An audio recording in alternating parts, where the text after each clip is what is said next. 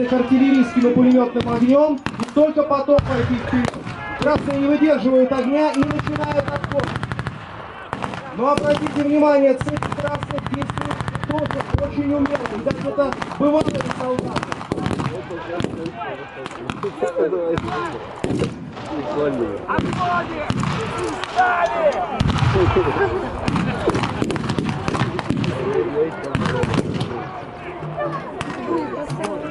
На и той, и той армии стоит практически одинаковое оружие. Это и трехлинейные винтовки Мосина, и револьверы Наган, а также большое количество трофейного оружия и оружия союзников, и пулеметы Льюис, э, и американские пистолеты Кольт.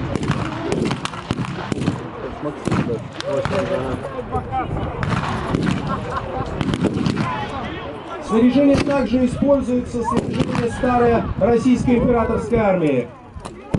Фактически все снабжаются с одних и тех же складов.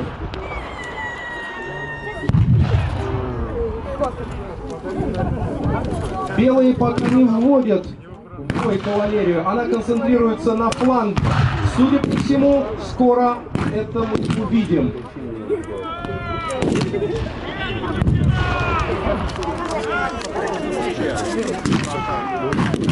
И вот сабельная атака Ахтырских гусар,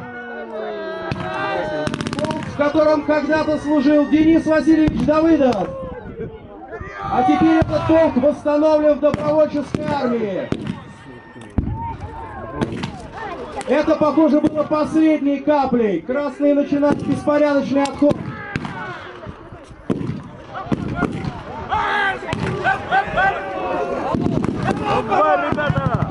Мочи их!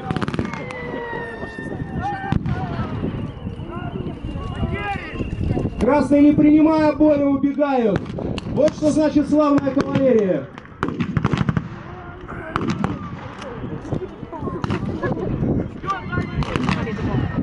Кац как-то не очень убегает.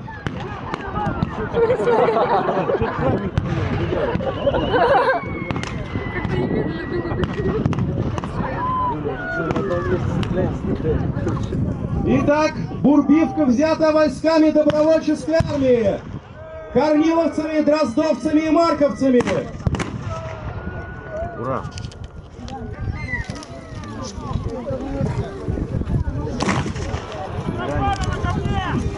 Ну, наверное, контратака. Белые также